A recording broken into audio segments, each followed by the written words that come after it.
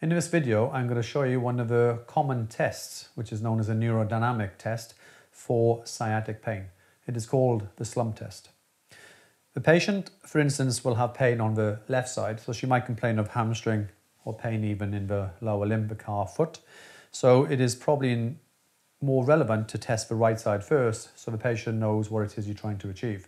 Then once you've done the non-symptomatic side, you can then test the symptomatic side. We can do it in stages if you prefer. And the way we do it to start with is I normally would get my patient sitting upright. And then, so this is the non-symptomatic leg. And then we get the patient to slowly extend the leg as part one. And then dorsiflex is part two. And then with this case, she's going to lean forward, part three, and then add in the last stage of neck flexion, which is why it's called the slump test. So she knows exactly what it is she feels from that one and relaxed.